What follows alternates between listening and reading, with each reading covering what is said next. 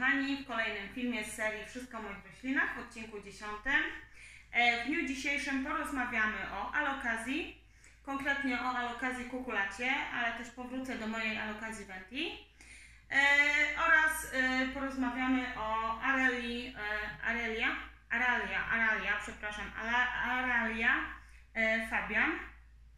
Taka fajna roślinka, też Wam ją przedstawię, mam ją od niedawna. E, może przejdźmy do alokazji. I jak wiecie, e, posiadam alokazję Venti. E, rośnie ona u mnie ładnie. Tutaj przyniosłam, żeby Wam pokazać. Wychodzi mi, to już jest trzeci liść, który u mnie wychodzi. Tylko, że niestety każdy, jak wychodzi u mnie nowy listek, to najstarszy z liści żółku.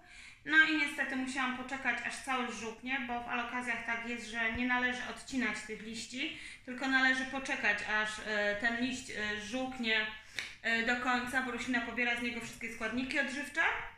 I wtedy je, taki liść mega zżółknięty, wysuszony należy odciąć, nie prędzej, żeby ta roślinka właśnie mogła sobie pobrać te wartości odżywcze. No w tej chwili to jest trzeci liść, który u mnie wychodzi, ten maluch.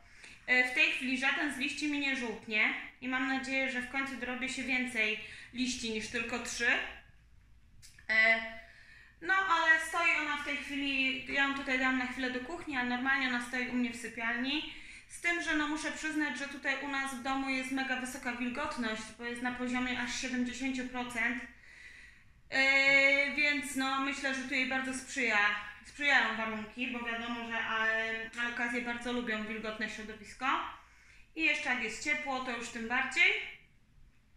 Podlewam ją, tak jak już y, kiedyś w którymś z filmików, odcinków wspominałam, tak żeby nie, nie wysuszyła się y, na wiór, że tak powiem. Musi mieć stale y, lekko wilgotne podłoże, wtedy sobie fajnie rośnie. I chciałam Wam pokazać mój nowy nabytek. To jest e, alokazja kukulata. Ja ją może przeniosę tutaj, żeby ją było lepiej widać, bo na tle tej ciemnej ściany myślę, że e, jest bardziej, bardziej widoczna niż na oknie, bo tam nam troszkę światło przeszkadza. E, To jest moja alokazja kukulata. Mam ją z jakieś dwa tygodnie. Kupiłam ją już jako, no może jeszcze przesunę tutaj kawałek. Kupiłam ją jako duży okaz, już dosyć, dosyć dużym okazem jest, ona ma powyżej 50 cm. E, Też e, trzyma się u mnie naprawdę super. Ją natomiast trzymam tutaj rzeczywiście w kuchni na parapecie. Ja często gotuję, e, pieczemy, także jest tu duża, duża wilgotność, myślę, że powyżej 70%. I naprawdę myślę, że jest jej tutaj bardzo dobrze. Ja już tych roślin nie zraszam, bo jeżeli mam aż tak wysoką wilgotność, obawiam się zraszania z tego względu, żeby nie nabawić się grzybka. E, I e, jak widzicie, e, ta moja nowa kukulata już tutaj wypuszcza, już wypuściła u mnie dwa liście od tego czasu, a tutaj wychodzi jej kolejny liść. Tutaj może widać Mam nadzieję, że dobrze widać pomiędzy tymi liśćmi tutaj i tutaj mam też takiego, o, wychodzi taki maluszek. Także myślę, że jest jej tutaj dobrze. Myślę, że ten najnowszy liść, ten tutaj, co wychodzi ze środka, będzie mega duży, bo to już tak troszeczkę widać.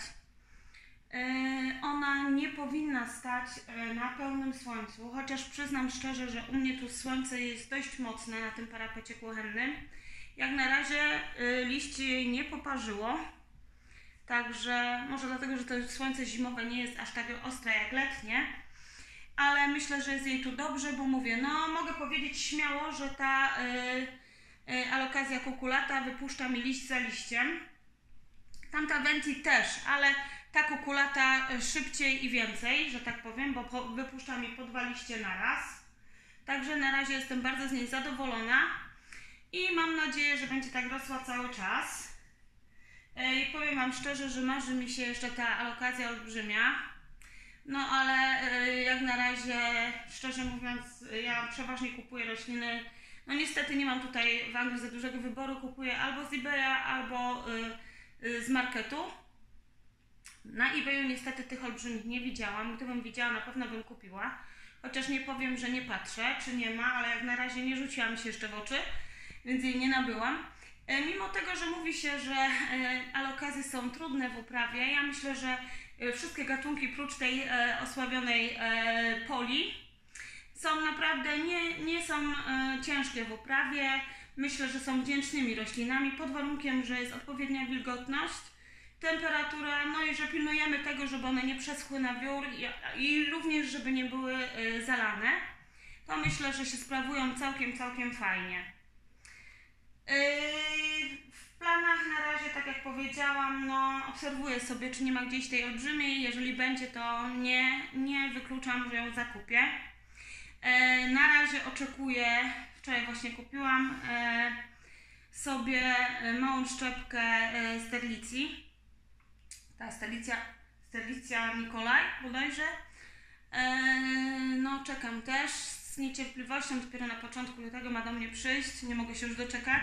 Chciałabym, żeby wyrosła mi też wielka, bo ja lubię duże kwiaty.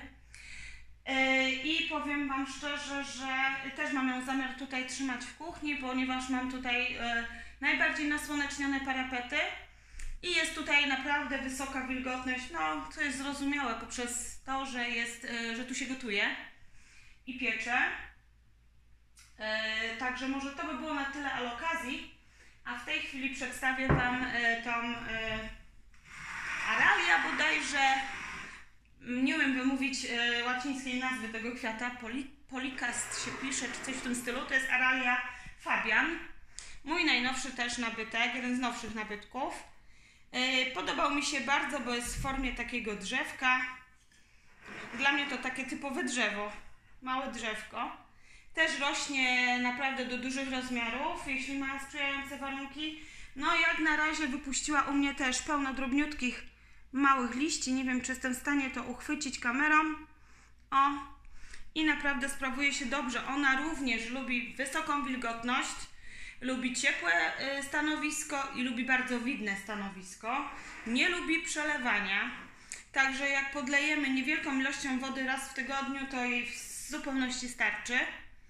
E, mam ją też od niedawna, ale już powypuszczała u mnie. O, tu jest nowy listek, który wypuściła u mnie. Tu ze środka się wychyla i pełno takich maluchów przy tych, przy tych e, liściach ze środka. Ciężko jest mi to pokazać, ale o, tu proszę. Zaraz zobaczymy, czy będzie to w kamerze widać.